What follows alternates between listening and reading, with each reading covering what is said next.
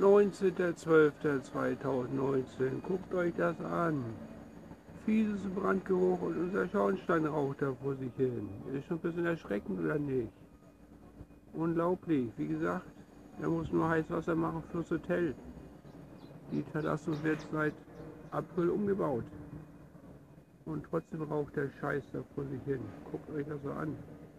Ist doch nicht zu fassen.